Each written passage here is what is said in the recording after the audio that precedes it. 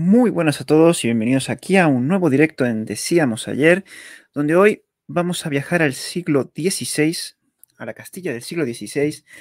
Terminada la reconquista, se le presentó Castilla, se lanza también no solo con el tema de la conquista de América, sino también al norte de África. Unas campañas poco conocidas, pero no por ello poco interesantes. Son muy interesantes, tienen protagonistas muy claros e incluso, como puse en la miniatura del canal, podemos llegar a preguntarnos si aquí, en estas campañas, tenemos a otro gran capitán, que esperemos, para mí la respuesta es sí, este es otro gran capitán, pero vemos si el invitado de hoy coincide. ¿Y quién nos va a acompañar y quién nos va a mostrar estas campañas? No es ni más ni menos que Alberto de Piqueros a Vanguardia, podcast muy, muy recomendable y aparte también en Twitter tiene hilos muy interesantes que os recomiendo sobre los tercios, fortificaciones, toda esa eh, parte de la historia de España que no tiene desperdicio. ¿Qué tal, Alberto? ¿Cómo estás? Pues muy bien, muy bien. Muy buenas noches, buenas tardes a todos y oye, gracias por tus palabras. La verdad que lo has pintado muy bien esto, ¿eh? lo has pintado muy bien. Hombre, vamos, yo vamos, para compartirlo con la gente, eh, se me ocurrió de este canal debido a tu podcast de, las campañas de Pedro Navarro en el norte de África, a mí me han encantado, aparte que lo cuentas muy, muy bien. Y ya te digo, yo, como comentaba antes, para mí es que Pedro Navarro se merece el título de gran capitán también, tal vez el segundo gran capitán, detrás de Gonzalo Fernández de Córdoba. Por ahí van a andar, desde luego. Eh, a ver, llegar a quizás el nivel del gran capitán es muy complicado, pero veremos poco a poco a lo largo del programa que atrás no se queda tampoco. No, para nada. Entonces, Alberto, vamos directamente al grano. Vamos a tratar un poco de dibujar, eh, como te comentaba fuera de cámara, el contexto. ¿Qué pasaba en el Mediterráneo? ¿Por qué Castilla se lanza ah, por estas tierras? Porque no estamos hablando de tierras especialmente ricas en recursos, o sea, que no, es que hubiera muchísimo oro ni recursos naturales. Entonces, ¿qué pasaba en el Mediterráneo para que Castilla, tras terminar la reconquista y con el tema de América también ya recién empezando, se lanza al norte de África? ¿Por qué? Pues bien, es, importante decir que Castilla, monarquía hispánica, bueno, podemos decir todavía el germen de lo que será la futura monarquía hispánica, porque en estas campañas norteafricanas vamos a ver soldados tanto aragoneses como castellanos, ¿no? digamos, en el momento en que Isabel y Fernando no unen los reinos, pero sí unen sus objetivos, ya diferenciar entre qué ejército lleva la campaña, lleva la empresa, es muy complicado. Podemos decir que hay soldados de ambas coronas. Pero tenemos que tener en cuenta que una vez acaba la reconquista, en 1492, los reyes católicos tienen claro que la lucha contra el Islam no puede acabar ahí son conscientes de que el norte de África está muy cerca de la península y supone una constante amenaza para los intereses de la cristiandad y los intereses de España. Además, hay un factor clave a mediados del siglo XV, concretamente en 1453, que es la caída de Constantinopla en manos del Imperio Otomano. En ese momento, Europa está totalmente expuesta a una invasión otomana tanto por tierra como por mar. Constantinopla era la defensa, el principal bastión de la cristiandad y de Europa de las posibles invasiones por la zona de los Balcanes y también por el Mediterráneo. Pero caída Constantinopla, ya en manos otomanos, mm, Europa está libre, está libre, no tiene línea defensiva, es muy factible que el Imperio Otomano pueda atacar por los Balcanes y es muy importante que Castilla y Aragón conquisten el norte de África antes de que el Imperio Otomano decida expandirse por todos esos lugares. Es súper importante porque pensemos, ¿es posible llevar desde Constantinopla o desde la actual zona de Libia, de Egipto, una gran campaña a Alicante, a Valencia, a Cataluña? Sí, e-, es factible, pero es muy complejo a nivel logístico, porque tienes que transportar muchos miles de hombres a muchos kilómetros de tu zona de influencia. En cambio, si conquistas Orán, si conquistas Mazalquivir, que está a, pocos cientos de kilómetros de la costa eh, española, es muy posible que puedas lanzar un ataque a gran escala.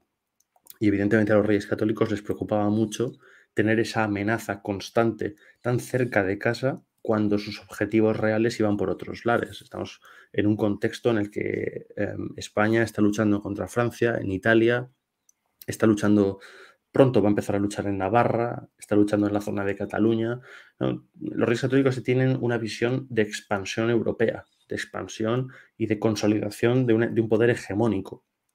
Y digamos que tener el Imperio Otomano tan cerca podría suponer una piedra muy importante en el zapato. Claro, estamos en una, época que todavía podrían temer una quinta columna dentro de lo que es Granada. Estaba recién conquistada. Entonces, que me refiero a que el Imperio Otomano podría entrar con ayuda de. Porque todavía no se habían expulsado a los. Entiendo, a los. Eh, armometanos que estaban aquí en Granada, ¿no? De hecho, es muy curioso porque mucha gente desconoce el primer conflicto de las Alpujarras. En época de Carlos V está el famosísimo conflicto de las Alpujarras, pero antes, con los reyes católicos, ya hay otro. De hecho, el gran capitán tiene que intervenir antes de ir a Italia. Ah, es verdad, es verdad. En torno a 1498, 1497, en cuanto se decreta la expulsión, prácticamente. Mucha gente que no quiere abandonar sus hogares y se alza en armas.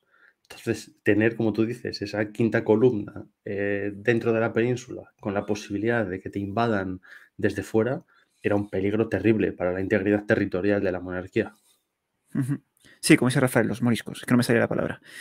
Eh, entonces, por lo que entiendo aquí, ya entonces no hay una política, eh, por decirlo, expansiva, vamos a ponerlo entre comillas, sino el objetivo real de los reyes católicos no es la expansión por estos territorios, sino hacer un cerco defensivo para que la zona de influencia otomana quede lo más lejos posible de lo que sería la península. O sea, querían cerrar el Mediterráneo para los otomanos. Exactamente, exactamente. Eh, los reyes católicos eran conscientes de que el norte de África eh, económicamente sí que era importante. Había unos puertos, unos puertos comerciales muy interesantes y muy atractivos desde el punto de vista monetario y económico, pero tenía muy claro que los objetivos reales para construir esa idea de, imperio, esa, idea de monarquía como poder hegemónico en Europa, pasaba por hacerse con Milán, con Lombardía, con el Franco Condado, con invadir Francia, con hacerse con Navarra. Ahí es donde estaba realmente, digamos, la chicha, en Italia, no tanto en el norte de África. Pero es como tú dices, eh, tengo que conquistarlo yo antes de que lo conquiste el otro, porque si no, aquí tenemos un problema muy grave. Claro. Y antes de pasar a, Ah, pues hay una pregunta muy interesante en el chat, antes de pasar a describir un poco qué había en el norte de África. Eh, nos pregunta, a ver, Policarpus, voy a decir Policarpus porque no me sale otro, Eronviñato, no sé si lo he dicho, lo siento, que nos pregunta si fueron los reyes católicos o fueron, estaban influenciados por Cisneros en esta mm, política. Es, es mutuo. Mm, Cisneros tenía clarísimo que debía invadirse el norte de África de hecho, después de la revuelta de las Alpujarras, él lo tiene todavía más claro e insiste muchísimo en ello. Pero los reyes católicos también lo tienen clarísimo. Saben que tienen que lanzarse a, esa conquista y van a esperar el momento idóneo para, poder hacerlo, porque en ese momento les es imposible. Les surge el tema de Italia. Ahí es donde podemos ver la preferencia. Ellos prefieren ir antes a Italia que lanzar las conquistas norteafricanas. Entonces volveremos un poco a la, situación de las dos potencias, eh, ese temor de los reyes católicos a una pos que los otomanos pudieran llegar a tocarles la puerta. Pero entonces, ¿qué había en el norte de África? ¿Qué es lo que había? Voy a compartir el mapa que me has pasado para facilitar la explicación. Entonces, este es un poco el mapa que tenemos en, esta época. ¿Qué es pues lo que había? interesante. Muy interesante, porque esto a veces se desconoce. Mm, el norte de África, para que los espectadores se hagan la idea, recuerda mucho a los reinos de taifas, de esos periodos famosos de la Reconquista, ¿no? Cuando se desintegra el califato, cuando se desintegra el imperio almorávide. En el norte de África pasa mm, lo mismo prácticamente. Cuando el imperio almorávide y posteriormente el imperio almohade comienza a surgir en el norte de África y después avanza hacia la península, llegando a poner en jaque en muchas ocasiones la reconquista cristiana, al desintegrarse, reyezuelos toman el poder de pequeños territorios. Y ahí vemos cómo en estos momentos de 1500 aproximadamente, un poco antes, 1490, pues todavía Granada conserva el reino nazarino, todavía hay presencia musulmana, como se puede ver en el mapa, vemos que el territorio está dividido entre reino de Fez a la izquierda, el Etremecén en el centro y los Hafsíes a la derecha. Y en 1494 sucede algo muy importante, que es que el Papa de Roma concede a Portugal los derechos expansivos por el reino de Fez. Al mismo tiempo, los reyes católicos solicitan al Papa que le concedan los derechos expansivos sobre el reino de Tremecén. Y el Papa accede. Por tanto, es una zona por la que perfectamente pueden expandirse. Vale. Entonces, claro, esto es algo que también hablamos fuera de cámara. Que esto es lo que a mí me, eh, sorprendía mucho. Ahora ya vamos a ver de la campaña concretamente, cómo ninguna potencia controló estos territorios, porque estamos hablando de reinos muy divididos, eh, débiles, si los comparamos con lo que había en Europa o con lo que había en Oriente, cómo ninguna gran potencia consiguió dominar estos territorios después del Imperio Almohade. Claro, son territorios, como decíamos, muy vastos, territorios muy complejos, mm, territorios con unos sistemas de, de vasallaje muy medievales, donde hay un reyezuelo y vasallos que a veces le traicionan, que se alían con otro. Por ejemplo, para que nos hagamos la idea, el rey de Tremecén, que tiene todo un séquito de vasallos, es a su vez vasallo de los Hafsíes, que a su vez están en guerra contra el reino de Fez. Entonces, es un complejísimo mundo de influencias donde tener un control férreo sobre el territorio es prácticamente imposible. Veremos, de hecho, después, eh, cuando nos metamos ya en la conquista de, de Orán, de Mazalquivir, cómo muchas veces el rey de cierto territorio va a solicitar ayuda, pero el otro rey le va a traicionar y no va a acudir, porque va a tener un pacto secreto con otro para destronarle y para hacerse con el poder. Es un mundo muy complejo. Ostras. Aprovecho la pausa para darle gracias a Antonio que se ha suscrito a Twitch. Muchísimas gracias, Antonio. Quiero aprovechar la pausa y volvemos al tema. Entonces, ya tenemos decidido, los reyes católicos se van a expandir. Tenemos este, no sé si llamarlo tapiz, amalgama, o sea, un desastre, lo que diríamos en Argentina, esto es un quilombo el norte de África.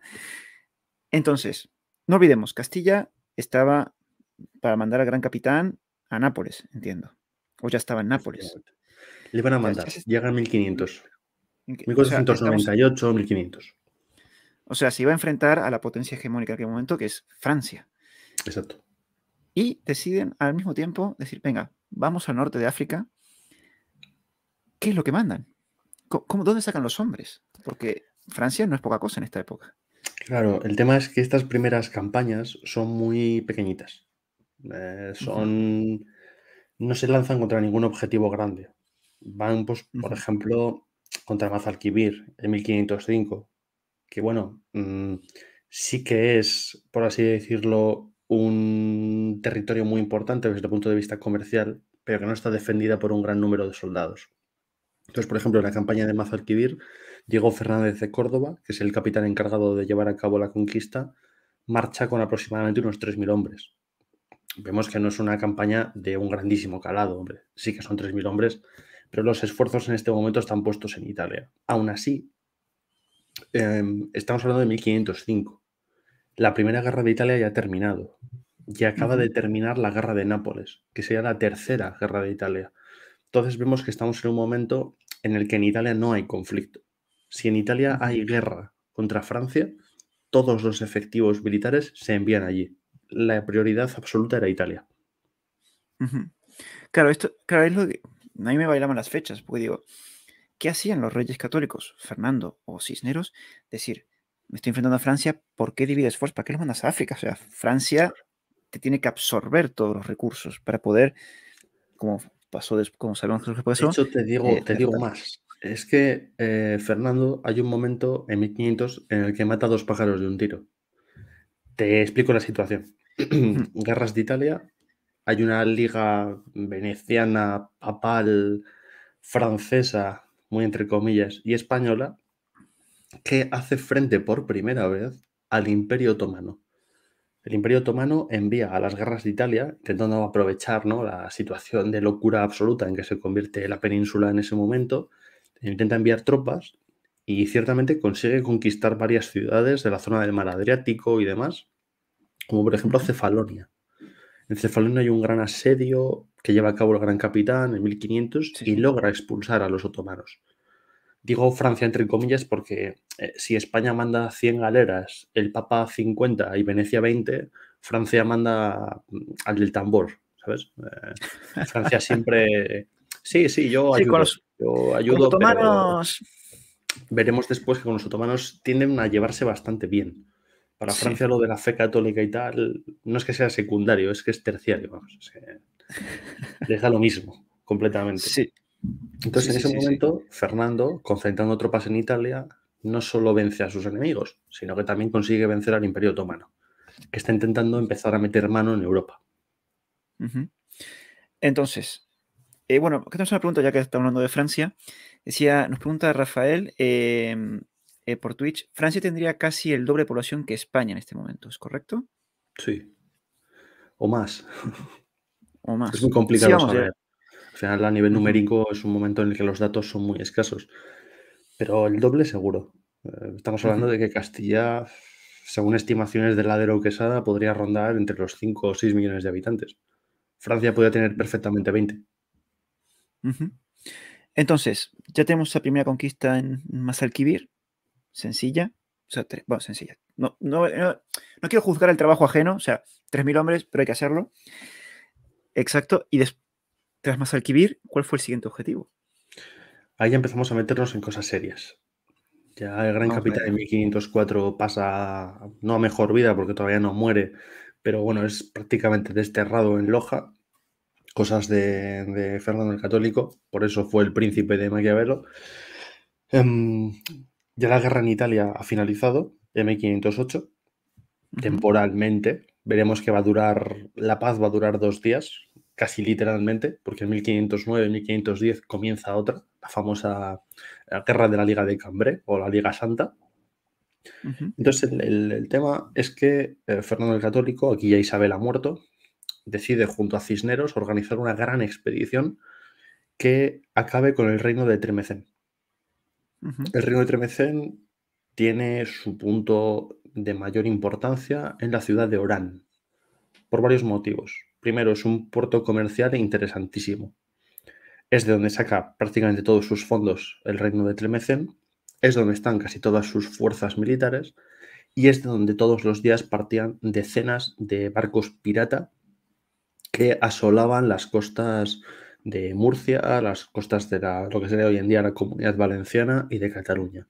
De hecho, hay un desencadenante en 1507, que es que varios piratas berberiscos con apoyo otomano em, invaden Murcia, si no estoy, si no me confundo, un pueblecito cerca de Murcia, asesinan a cerca de 200 habitantes y se llevan a 170 o 175 como presos esclavos a galeras o mujeres para ser vendidas o, sabe Dios para qué.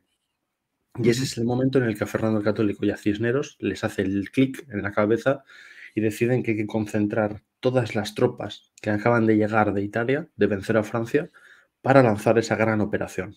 Y consiguen juntar en Málaga, en torno al mes de abril, mayo de 1509, cerca de unos 12-15 mil hombres, soldados veteranos que llevan 10 años luchando en las guerras de Italia. Ostras.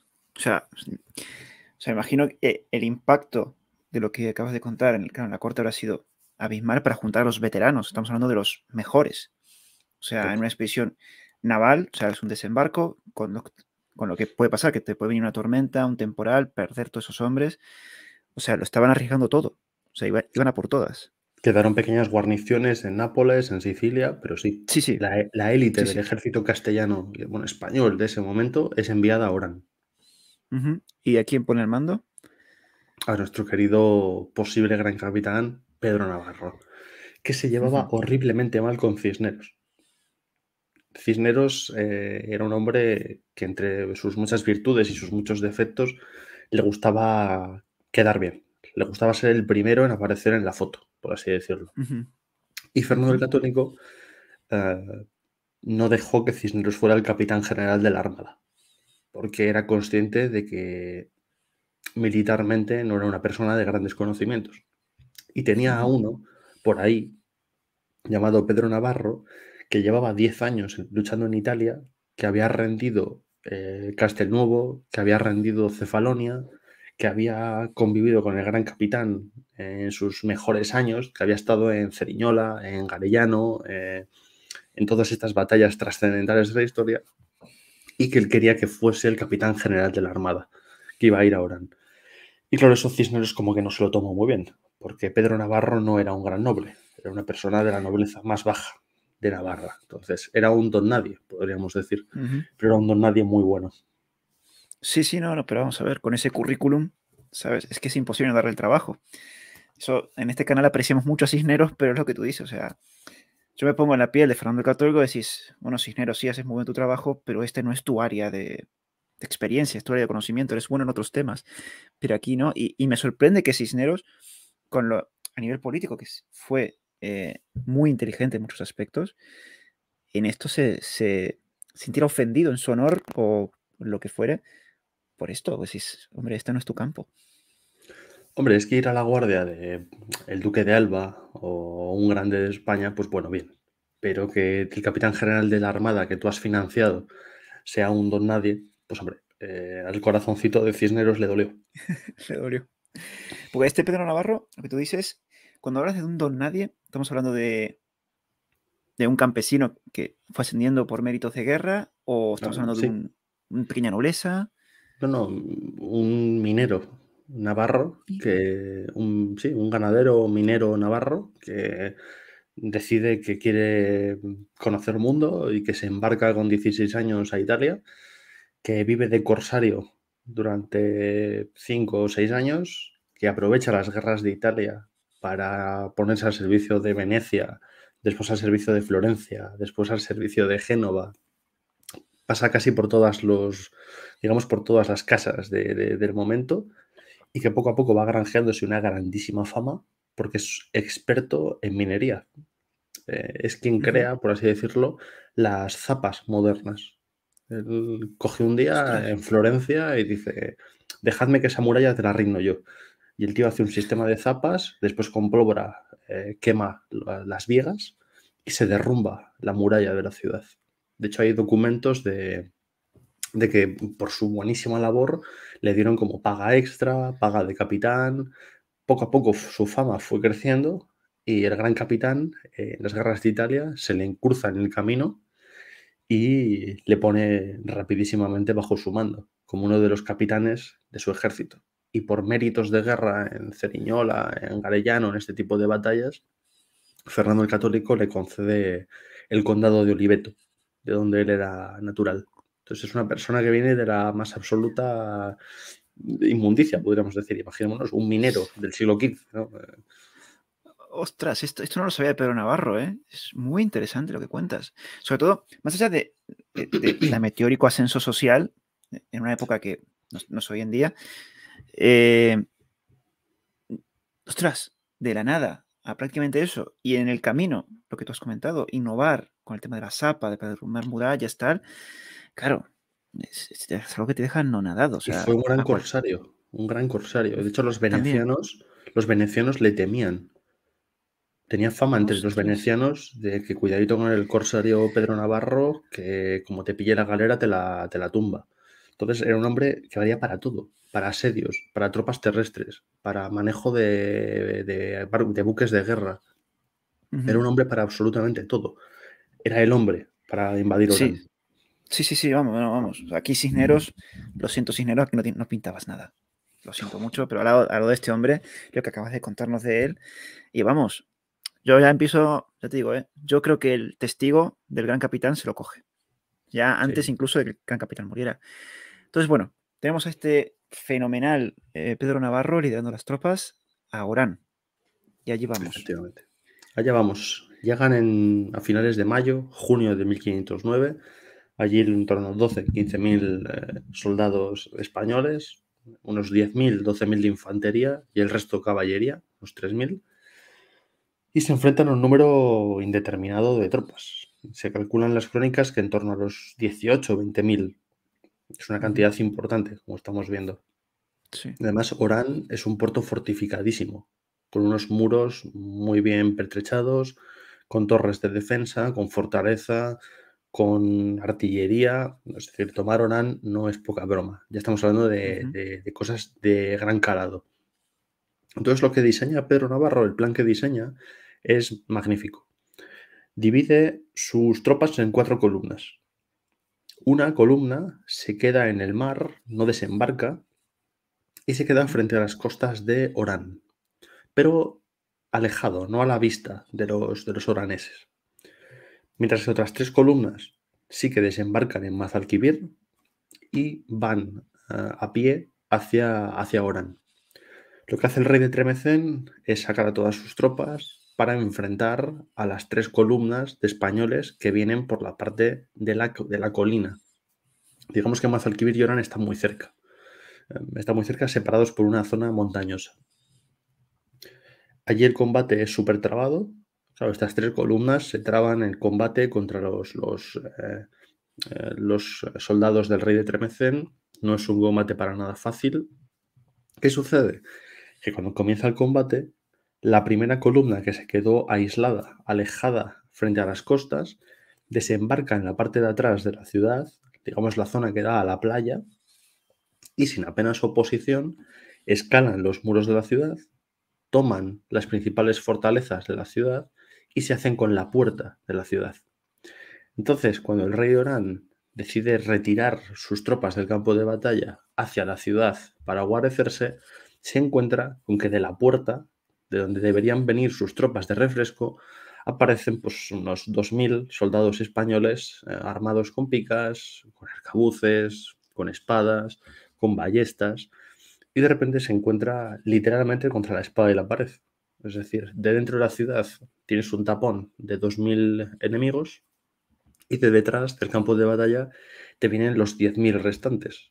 No hay salida posible. Has quedado absolutamente encerrado y queda la rendición o la muerte. En este caso, las normas del Mediterráneo, normas no escritas, eran muy claras. Eh, rendirse era o ser pasado a cuchillo o ser hecho esclavo. Y esas eran unas normas que todos conocían, musulmanes o cristianos. Vendieron muy cara la piel, no, no se rindieron y la gran mayoría de ellos fueron pasados a cuchillo. Ostras.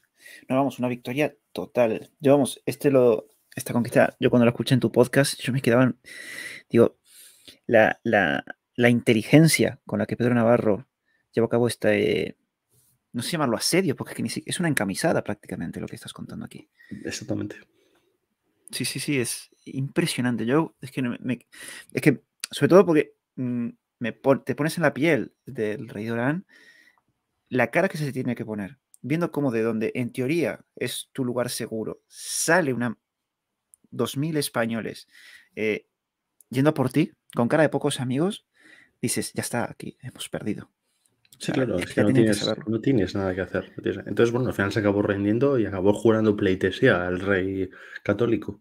Se acabó haciendo vasallo de, Fernando el Católico y como muestra de, buena fe, liberó a cientos de esclavos españoles que tenían, españoles y cristianos, que tenían allí, eh, él y todo el reino, básicamente. ¿Y se saben las bajas de... Ya no te voy a preguntar por el rey Dorán, porque bueno, me imagino que habrán sido cuantiosísimas. De, de, por parte de Pedro Navarro, ¿cuántas bajas sufrió? Esto hay que, tenerlo hay que tratarlo con mucho cuidado, porque las crónicas que hablan del tema, sobre todo la de Jerónimo de Zúrita, pues bueno, son crónicas, no, no son fuentes primarias, son fuentes secundarias. Hay que tenerlas en cuenta, por supuesto, pero con el cuidado que, implican. Pero sí es cierto que cogiendo varias crónicas y haciendo un poco estudio comparativo, la media podría salir en torno a unos 600 muertos. Ah, aproximadamente. Y por parte de los oraneses estaremos hablando de cerca de 10.000. No sé si 800 son muchos, pero si lo comparas con no, claro. no, claro, más los 8.000 habitantes de la ciudad que fueron eh, muertos o esclavizados, pues hombre, eh, evidentemente las cuentas te salen. No, no, claro, sí. Pues a ver, yo me imagino que todos los generales de toda la historia de los ejércitos quisieran tener una batalla como la de Bicoca. Es decir, sufres una baja y ya está. O sea, a, todo el mundo le encantaría de eso, pero bueno, es prácticamente imposible. Entonces, pero vamos, yo creo que Fernando Católico, cuando llegan estas noticias, vamos, exultante. Es una campaña exitosa, ah, mm, mejor era imposible. Sí, la alegría es absoluta. Además, Cisneros, que era un tío muy listo, eh, discutió antes de la batalla con Pedro Navarro y Pedro Navarro al final le, no vamos a decir ordenar, porque ordenar a Cisneros algo podría ser bastante complicado. No se lo ordena ni el rey casi como para ordenárselo Pedro Navarro, pero le eh, conmina a quedarse en Mazalquivir. Entonces, en cuanto se entera de que Orán ya ha caído y ha sido rendida, pues va corriendo y hace allí pues, sus proclamas, eh, sus discursos épicos, que eso lo hacía como nadie, da una misa en honor a todos los, los, eh, los caídos y demás, y manda automáticamente a sus enviados a la corte para contar la conquista como Cisneros quería que fuese contada. Es decir, apuntándose todo el meritazo y quitándole un poquito a Pedro Navarro. un político en toda regla. Era un, político de categoría. un animal político. Sí, sí, sí, sí, un animal político. Entonces, bueno, después de la conquista de Orán, claro, acá estoy tentado a preguntarte, porque estamos hablando de Orán, has comentado que era un puerto ya importante, ya es categoría. Si esto tuvo algún eco en el lado contrario, en el, si los otomanos le llegó esta información y era algo que a ellos les preocupara. Notablemente, notablemente porque, claro, ese era un territorio que ellos querían anexionarse. Y claro, sobre todo les preocupó el ver la rapidez con la que había caído Orán. Em, claro, ellos daban por hecho que iba a ser muy complicado tomar Orán, que a, a la monarquía le iba a costar muchas bajas y muchas vidas tomar Orán y se dieron cuenta rápidamente de que no. Entonces intentaron acelerar un poco eh, ese proceso expansivo, sobre todo por la zona de Egipto y por la zona de, lo que sería hoy en día Siria y Libia. Estamos hablando que ya, es toda una carrera, o sea que ya estamos, tanto Fernando como Cisneros, por hablar de los líderes, como por el lado de los otomanos, ambas partes veían que o era una carrera contra el tiempo, prácticamente. De hecho, cuando en 1494 el Papa concede el reino de Tremecén a Castilla y Aragón como zona de expansión, no entra el reino de la derecha, el de los Hafsíes. Pero a Fernando el Católico le da igual. Ordena a Navarro que con las tropas que allí le han quedado, que rapidísimamente se lance a la conquista de Túnez y de Trípoli. Entonces ya le da igual tener derecho expansivo o no tenerlo. Quiere que el norte de África sea suyo. O sea, Nada más terminar con Orán, ya Pedro Navarro marcha hacia Túnez. Automáticamente. el primer objetivo va a ser Bujía y cae en apenas dos meses, tres. Ostras.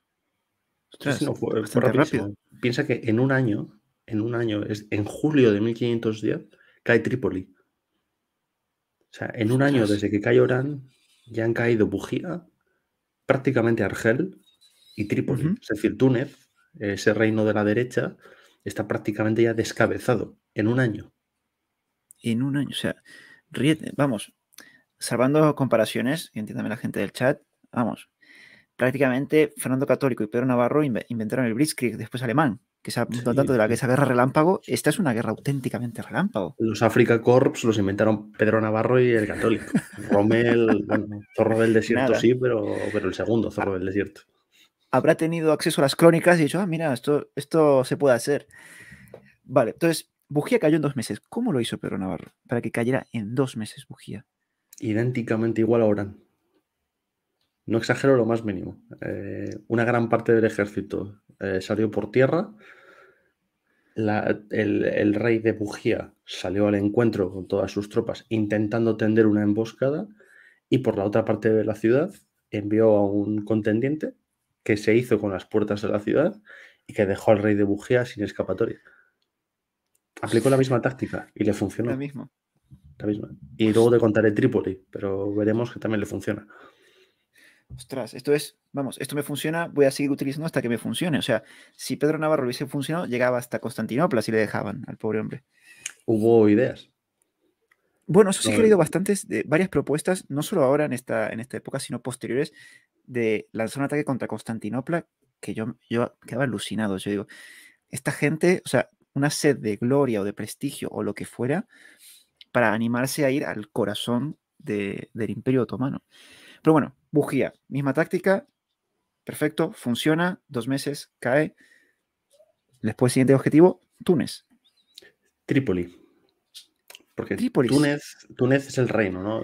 Es la cabeza, la capital, ah. podríamos decir. Pero Trípoli es lo mismo que pasa con Orán, el principal puerto fortificado de donde parten cientos de barcos piratas todos los días. donde se venden miles de esclavos y un objetivo que, vamos, eh, el Imperio Otomano tenía entre ceja y ceja. Ya a España le constaba que el Imperio Otomano iba a por Trípoli a toda velocidad. Pensemos que Trípoli, si todos los espectadores cogen un mapa o se hacen una idea en su cabeza, si tú tiras una línea este para abajo. Aquí está, ¿no?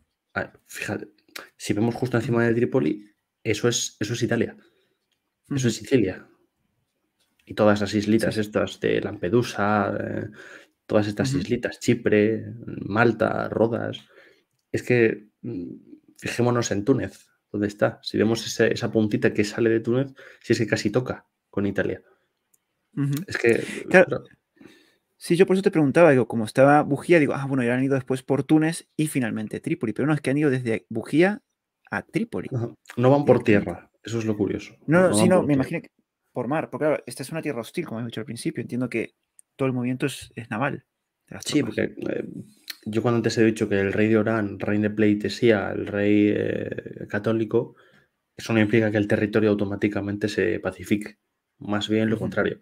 Se crean guerrillas eh, berberiscas, tribus rebeldes que hacen la vida imposible. De hecho, es justo lo que me preguntabas antes. ¿Y aquí se quedan tropas? Sí, pero no, porque es muy complicado mantener este territorio. No militarmente, porque ninguna tribu tiene capacidad de hacer un asalto masivo a una muralla protegida por 2.000 o 3.000 soldados españoles, pero a nivel económico, llevar habituallamiento, llevar municiones, llevar, eh, en fin, llevar todo lo que requiere del mantenimiento de 3.000 soldados era prácticamente imposible económicamente, a nivel logístico, podríamos decir. como bien dice Alberto, es una conversión que tuvimos antes de empezar el programa que yo mencionaba, porque claro, una cosa es conquistar militarmente Orán, más eh, Bujía, otra cosa ya después es mantenerlo. Entonces, cuando me pregunté si aquí ya empezaban ese tema de las fortalezas, los presidios para mantener militarmente controlada esa zona. La intención estaba, pero como tú me has dicho, todavía era algo que materialmente era prácticamente imposible. esto a nivel intelectual, podríamos decir, es uno de los principales orígenes de los tercios es una de las vías que lleva a la creación del tercio. Porque los tercios son esos, son tropas profesionales desplegadas permanentemente para la defensa de un territorio. Por eso los, principales los primeros tercios son el de Lombardía, el de Nápoles, el de Sicilia y el de Málaga. Pero principalmente los tres italianos. porque Para proteger Italia. Entonces, ese cambio, esa transformación logística de la Edad Media se empieza a ver ya en estas conquistas norteafricanas. Ya hay una intencionalidad, de hecho en Orán la hay, de dejar a Diego Fernández de Córdoba, ese gran capitán que había tomado Mazalquivir, que posteriormente será virrey de, Navarra, con 3.000 hombres. Existe esa intención. Pero tal y como dice Jerónimo de Zúrita en sus crónicas, todos en España sabían que no era posible sostenerlo de forma prolongada en el tiempo. Pero ya vemos cómo existe ese intento por parte de la corona de dejar tropas en el territorio que acabas de conquistar. Entonces, ya tenemos la intención, ese pequeño germen, esas pequeñas ideas que después sí que veremos es, eh, para esas fortalezas donde los España va dejando, o la monarquía hispánica, esas tropas. Pero volvamos con Pedro Navarro, que se fue hasta Trípoli, y aquí ya prácticamente eh, se da la mano con los otomanos, porque como bien has contado, los otomanos también tienen el objetivo de Trípoli. Entonces aquí, claro, después te, te haré la pregunta, pero primero, ¿cómo se enfrenta a esta situación Pedro Navarro? es una situación extremadamente compleja. Trípoli tiene más tropas que Orán. En Trípoli estamos hablando de igual unos 25.000 defensores, aproximadamente. Era uno de los principales puertos fortificados norteafricanos. Y además, el Imperio Otomano envía tropas de apoyo. Lo que decíamos, ya está intentando meter baza. Entonces, envía, se calcula que en torno a unos 2-3.000 soldados de apoyo, aparte de varias galeras y demás. Bien, encima Trípoli es extremadamente complicado, porque la muralla que tiene, digamos, si nos imaginamos la tierra y miramos a Trípoli, es una muralla de muy difícil conquista. Entonces, Pedro Navarro toma la decisión de jugársela. Ciertamente se la juega. Coge a sus cerca de 15.000 hombres, divididos en unas 14 coronelías, que es un método organizativo que inicia el gran capitán y que es el germen orgánico de los tercios, ordena hacer un asalto nocturno al puerto de Trípoli. Esto es arriesgadísimo porque te puedes quedar totalmente embotellado. El puerto, eh, digamos, es un lugar pequeñito donde maniobrar a 15.000 hombres, pues no es nada sencillo. Entonces, lo que Pedro Navarro ordena es que una parte del ejército acampe a las afueras de la ciudad, simulando que por allí va a llegar el ataque. Lo que realmente ordena es que aprovechando la noche, si no recuerdo mal es el 25 de julio de 1510, se lancen al, al puerto. Desembarcan allí, se calcula que unos 8.000 hombres, y con perfecto orden, demostrando que son soldados veteranos, una parte da la cara a los soldados eh, berberiscos que vienen de la ciudad, porque empiezan a salir a miles de dentro de la ciudad, y los otros protegen la espalda de los que vienen del propio puerto. Digamos que los españoles quedan embotellados en el medio, pero no se ponen nerviosos, saben que eso es lo que tiene que suceder. Entonces, la mitad de esos hombres enfrentan a los enemigos que vienen por un lado y la otra mitad a los que vienen por el otro. Claro, e, e, eso psicológicamente es muy importante porque los, defensores de Trípoli creen que los españoles han caído en una trampa, en una emboscada, y les ven totalmente rodeados. Eso hace que abran las puertas, digamos, eh, se vean ya o se sientan como vencedores y realmente se encuentren con que eso no es así, aunque realmente los españoles lo han preparado todo. Entonces lo que acaban provocando es que dejen las puertas abiertas, que se retiren eh, en desorden y al fin y al cabo dejan las puertas abiertas para que los españoles puedan entrar en la ciudad. Conquistar Trípoli no fue tan rápido ni tan sencillo como Orán, lo digo incluso por tomar la propia ciudad interna.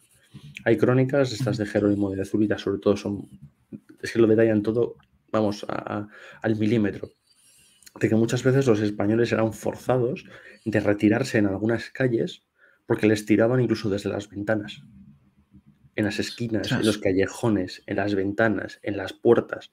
Les tiraban de todas partes. ¿Por qué? Por eso que decíamos, es que o te matan o te esclavizan. Entonces, evidentemente, mm, luchabas hasta, hasta la muerte. Y al final, las últimas tropas eh, defensoras de Trípoli se acabaron replegando en la mezquita de la ciudad, y tras bastantes bajas, tras bastantes bajas, se acabó por, conquistar Trípoli y, vamos, prácticamente no se dan cifras de esclavos porque yo creo que casi todos murieron. No porque fuesen acuchillados de forma fría, sino porque realmente murieron combatiendo. Ostras. No, lo que comentas, al principio sí que se jugó, ¿eh? Y ahí se, ve la veteranía de los soldados. Exacto. Puede haber mandado a 8 o 10 mil hombres a la muerte perfectamente. Sí, sí, sí. De noche encima, donde la visibilidad es prácticamente nula. Embotellados en el puerto de la ciudad. Claro, claro, porque tú te pones en la piel del soldado español de ahí, te ves rodeado, lo que tú dices, la oscuridad no ayuda, no sabes cuánto hay del otro lado, ves enemigos por todos lados, mantener la calma en esa situación requiere de una experiencia, una templanza que no es fácil encontrar en tropa novicia. Claro, pero estamos hablando de soldados que proceden de las guerras de Italia, que han estado la mayoría en Ceriñola, que han estado en Garellano, que han estado con el Gran Capitán, que ya han estado en Orán, que han estado en Bujía, que confían ciegamente en Pedro Navarro y que saben cuál es su oficio. Por eso decimos ejército profesional, el oficio de las armas. Sí, sí, sí, sí. No, no, claro. Y por eso digo, y, esto Pedro Navarro tenía que saberlo. O sea, tenía que confiar en sus hombres para decir, yo sé que estos hombres van a aguantar no ya la, presión física, la presión de, combatir ah, en desventaja, sino van a mantener la disciplina en todo momento y psicológicamente yo sé que estos hombres me pueden, pueden aguantar esta situación, porque si no, no planteas una estrategia de este calibre. yo creo que es clave, es fundamental la división en coronelías. Al final, como decía, es el, eh, digamos, orgánicamente son las unidades que van a dar después paso a, a, los tercios. Entonces, tener el ejército dividido en coronelías con un coronel al frente, se calcula que de unos 500 hombres te permite tener muchísimo más controlada la tropa. Porque hay un coronel para cada 500 hombres, porque hay un sargento o porque hay una serie de, oficiales que controlan cada uno de los grupos. No es un ejército desordenado en el que tú mandas a 8.000 hombres sin líder a que combatan, no. Hay una estructura totalmente establecida que permite el manejo y la adaptación a cada una de las situaciones que el combate implica que eso es justo lo que después los tercios harán y por lo que serán tan famosos y por lo que vencerán en tantas batallas. Entonces, y aquí viene mi pregunta. Porque claro, estamos hablando de Trípoli, que era también deseada por los otomanos. Aquí entiendo yo que hubo Fernando el Católico y Cisneros habían sabido controlar el riesgo de una declaración de guerra por parte del Imperio Otomano. Una declaración oficial de guerra, es decir, aquí ah, guerra abierta y te barro del norte de África. No hacía falta hacer una declaración de guerra. Ya se sabía, se sabía. Al final, em, la monarquía hispánica tenía la función de defender la fe católica y el Imperio Otomano de expandir el Islam. Son dos concepciones del mundo distintas y ambas estaban dispuestas a defender su, su religión por las armas. Entonces no hacía falta declarar guerra. Ya se sabía que estaban en guerra, se sabían que eran enemigos y se sabía que solo uno iba a poder vencer. ¿no? Entonces, ya daban por sentado que esta tropa peruana Navarro, porque digo, es que Trípoli está muy cerca ya, estamos hablando de que ya está cerca del área donde venían los otomanos, avanzando los otomanos. Eso es. Claro, Fernando Católico dijo, bueno, esta tropa que está allí me conquista Trípoli y si hace falta se enfrenta a un ejército que pueda venir, un ejército otomano que pueda venir. Eh, ahí Fernando Católico tuvo una situación muy compleja, porque en 1510 un grandísimo ejército francés vuelve a invadir eh, Italia, el norte de Italia, amenaza con invadir Castilla, atravesando Navarra, por la zona de los Pirineos navarros. Entonces la situación es muy grave. Entonces lo que ordena eh, Fernando Católico rapidísimamente es que deje una tropa, una guarnición en Trípoli, que conquiste los Gelbes, que es un pequeño reyezuelo que era rebelde, que no se, en fin, no quería rendir pleitesía y que era una isla muy importante para hacerse con Túnez y que rapidísimamente se lleve a todas sus tropas veteranas de vuelta a Italia. O sea, les quería en Sicilia automáticamente. Ostras. Entonces, podemos encontrar una situación en la que tal vez eh, la monarquía católica se estuviera enfrentando al mismo tiempo a Francia, o sea, que no ocurrió, y al Imperio Otomano, pero que pudo haber ocurrido esta situación, de tener esos dos frentes Perfectamente. Ostras, es una situación de que no es para corazones débiles.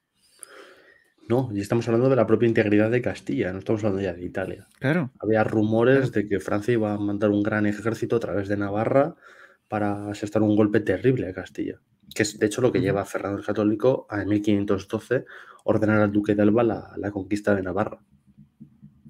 La situación era crítica. Bueno, no es para menos. O sea, es que imagínate la situación, vamos a poner la situación ficticia. Francia avanza por Navarra, te, también te amenaza a Italia y el Imperio Otomano avanza por el norte de África. Es que demográficamente no puedes parar, porque es que tanto el Imperio Otomano como Francia demográficamente eran superiores a lo que es Castilla y Aragón desde el punto de vista demográfico nada más. O sea, no hablo ya de tecnología militar ni nada por el estilo. En ese punto de cantidad de hombres que puedan poner, en sentido, es que no podían hacer frente a esas dos potencias al mismo tiempo. No, no, de ninguna manera. Al final también hay que contar con que Fernando Católico era un tío muy listo, se sabía mover muy bien, consiguió el apoyo pues, de Milán, el apoyo incluso en alguna ocasión de Venecia, de Inglaterra, cuidado al apoyo inglés, ya sabemos que los ingleses cuando vienen a ayudar, luego se acaban quedando con la mitad, ¿no? Pero bueno, venir vienen. Y los ingleses, de hecho, tenían una flota preparada en el Canal de la Mancha para intentar defender Navarra en caso de que Francia acabase atacando. Entonces, bueno, eh, Fernando ya sabemos que era un tío muy inteligente. ¿no? Nunca daba puntada sin hilo. Y no iba a arriesgar a sus 15.000 soldados veteranos en Trípoli si temía realmente por, la integridad de Castilla o por la integridad del reino de Nápoles. No, bueno, a ver, qué listo Fernando era eso, vamos, sin lugar a dudas, solamente hay que ver la política exterior, como tú mismo has dicho. Se ha buscado aliados en Inglaterra, eh, en el Sacro Imperio con, eh, con Austria, todas las bodas, que es, la política matrimonial, perdón, de los reyes católicos, era para acogotar a Francia, para hacer frente a Francia. Y lo consiguió. y lo consiguió, sí, ¿no? Eso no hay duda. Entonces, ordena Pedro Navarro salir de Trípoli, conquistar los Gelbes, que imagino que eso lo consiguió. No. No lo consiguió. Aquí tenemos un fracaso de Pedro Navarro. Fue mm, el único fracaso de Pedro Navarro. Fíjate qué cosas, pero no por culpa suya. Eh, Fadrique Álvarez de Toledo, duque de Alba, tenía un hijo que se llamaba García, García Álvarez de Toledo, era el futuro duque de Alba, que se empeña en ser enviado junto a Pedro Navarro. Pedro Navarro, como digo, en Trípoli había sufrido bastantes bajas, igual cerca de 3.000, 3.500 hombres, por lo que su tropa había quedado bastante mermada. Entonces, Fernando el Católico, a este García Álvarez de Toledo, con una flota de refuerzo, unos 5 o 6 mil hombres, le ordena que se una en Sicilia a, perdón, en Trípoli a Pedro Navarro para conquistar los Gelbes y ya marchar hacia Italia. El problema es que este García, al ser hijo del duque de Alba, va con el cargo de capitán general de la Armada, por lo que Pedro Navarro pasa a un segundo plano. ¿Qué sucede? Que este García era un hombre muy joven, muy impetuoso, que no había combatido en Italia, no había combatido en África. Tenía muchísimas ganas de demostrar su valía, podríamos decir un poco combatir a la vieja usanza, a lo medieval, ¿no? Con el caballo, con su armadura, con su... ¿Y qué pasa? Que cae en la trampa del rey de Gelbes. Cae totalmente en la emboscada, tiene una mala planificación logística, la tropa llega prácticamente deshidratada, se lanzan sin control a por unos pozos en esta isla insalubre. Allí les están esperando los, los defensores y caen muchísimos aquel día en la playa de, de De hecho, la rápida actuación de Pedro Navarro con su infantería impide que eso sea una carnicería. Pero estamos hablando de que igual en una mañana quedan en la isla de Gelbes 5.000 hombres. Ostras. Es un, se llama la jornada de Gelbes. La jornada de Gelbes, sí, sí, sí. sí. yo pensaba que. Claro, yo pensaba que no era eh, este movimiento. Yo pensaba que la jornada de Gelbes, este desastre, era. O sea, que Navarro conseguía la conquista de Gelbes, iba a Italia. Y después era cuando, cuando que volvía. en Gelbes hay dos desastres: el de 1560 y el de 1510. Sí, el, el, de 1560 sí que lo tengo más estudiado, incluso tengo un vídeo en el canal, eh, la defensa que se hace ahí. pero no, no, lo de Aquí te quería preguntar, justamente, o sea, ¿por qué ese cambio en el criterio de Fernando para poner a Fadrique si, si Pedro Navarro venía dando tan buen rendimiento? ¿Por qué lo, Fadrique, Fadrique era un gran general, un gran militar, pero que él tenía bastante, bastante tirria a Gonzalo Fernández de Córdoba, al gran capitán. Claro, el gran capitán era un hijo segundón. Sí venía de la nobleza, pero tampoco era el duque de Alba.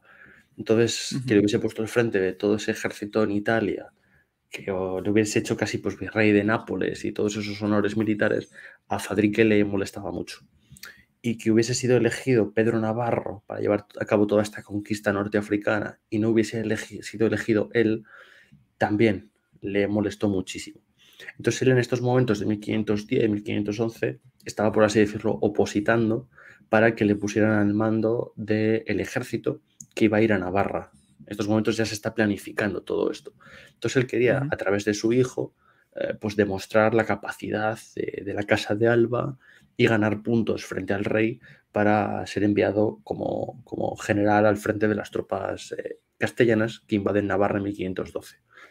El tema es que, claro, le sale mal, porque el hijo, pues eh, no es que sea, es muy impetuoso, es muy valiente, eso nadie lo niega, va el primero al combate, pero es temerario y eso le pasa factura. De hecho, él muere allí. Sí, sí. Claro, eso te iba a decir, este es el padre del tercer duque de Alba, el que ya sí que es el general militar que todos conocemos, bueno, Flandes, Portugal, que este sí salió buen general militar, o sea, como quería su abuelo. Sí, fue el gran duque de Alba. Pero este, salió, este salió rana, este la lió y murió en Belves, de hecho. Sí, sí, sí, sí. Entonces, este fracaso, me imagino que Pedro Navarro se retira y se va para Italia. Efectivamente, Pedro Navarro se pone en el frente de la infantería que, tiene que combatir en Italia y de hecho lo hace eh, pronto, en 1512, en una batalla que curiosamente es una derrota eh, española, pero de la que se extraen muchas enseñanzas para después el avance del ejército y el futuro, la futura aparición de los tercios, que es la batalla de Rávena. Es una batalla pírrica, digamos, para Francia, porque sí es cierto que vence en lo que es el campo de batalla, pero eh, Pedro Navarro organiza la retirada con maestría, organiza sus infantes y acaba provocando casi más muertes a Francia de las que Francia provocó a, España. Entonces, de hecho, el general francés, Gastón de Foix, acaba muriendo allí y demás, o sea que, bueno, es una victoria épica. El problema es que en 1512 en Rávena, Pedro Navarro es capturado por Francia. Por cubrir la retirada, sacrifica a sus hombres, se sacrifica él y es capturado. Y nuestro querido Fernando el Católico, haciendo gala de su política del príncipe, no paga el rescate de Pedro Navarro. Ostras.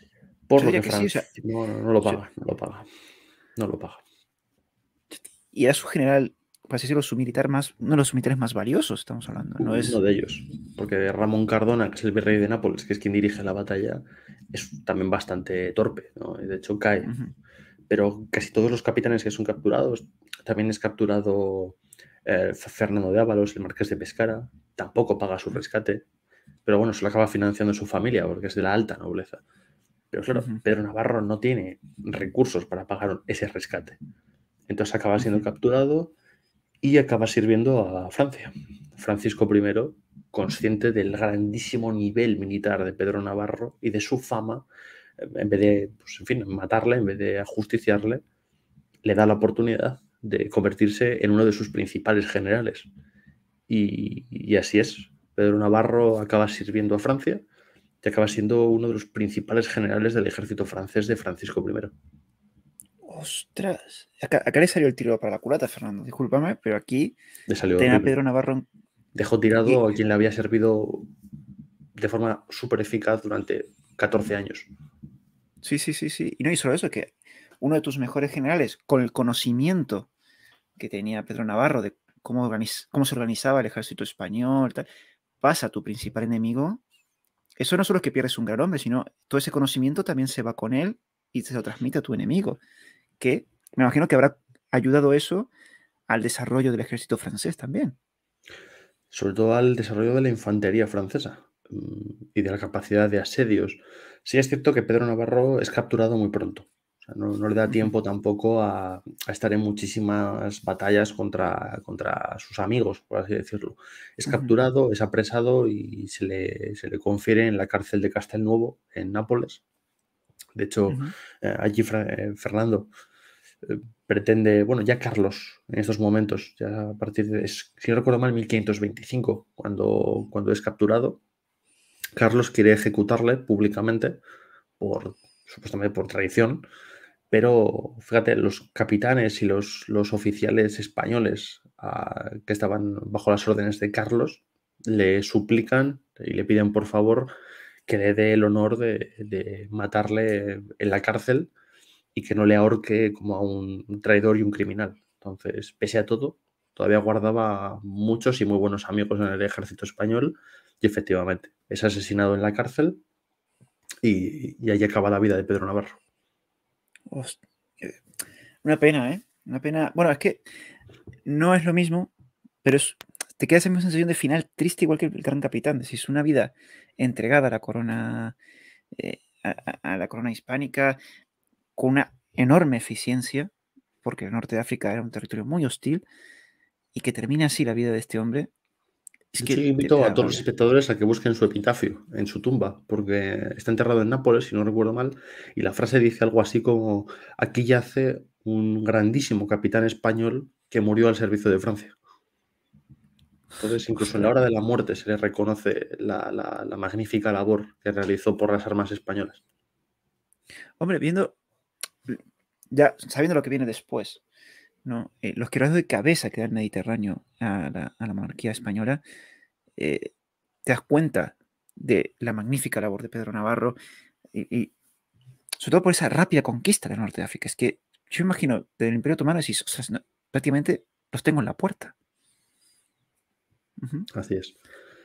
Así es. Y una última pregunta, pues el, el, acuerdo que tenemos con Alberto es cerrar esta primera etapa de la campaña norte de África aquí. Yo creo que con el final de Pedro Navarro es un bonito final, bueno, un bonito final, un final para la historia de hoy.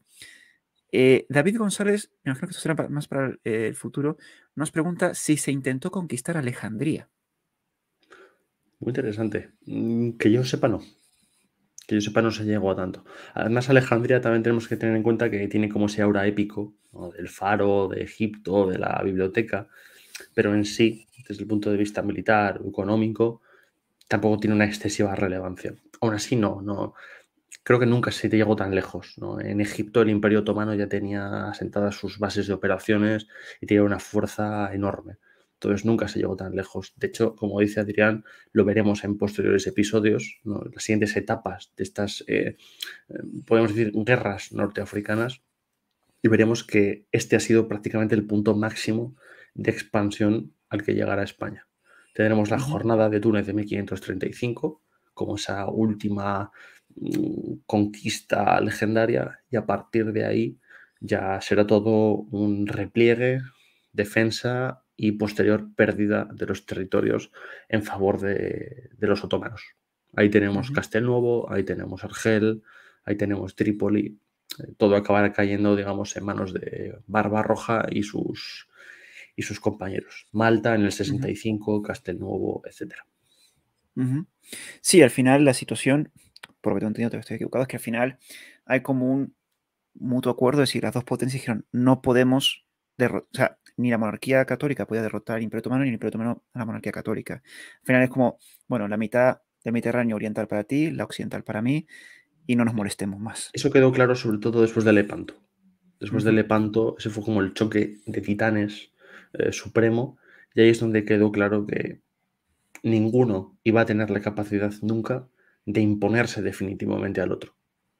Por mucho que en Lepanto fue una batalla trascendental, pero por mucho que hubiese vencido el Imperio Otomano o por mucho que hubiese vencido, em, digamos, la, fe católica en Lepanto, quedó claro en aquel momento que nadie iba a conseguir imponer su poder sobre el otro. Sí, sí, yo creo que eso sí eh, fue así. Eh, mira, hace una pregunta de Alejandro eh, que nos pregunta, ¿Fernando no pagó el rescate de Pedro Navarro como política general del rey o por otras cuestiones más personales? Yo entiendo que es más por una cuestión personal, no porque se llevase, perdón, económica, una cuestión económica. Dudo mucho que se llevase mal con Pedro Navarro, había sido un fiel servidor que jamás le había dado un problema.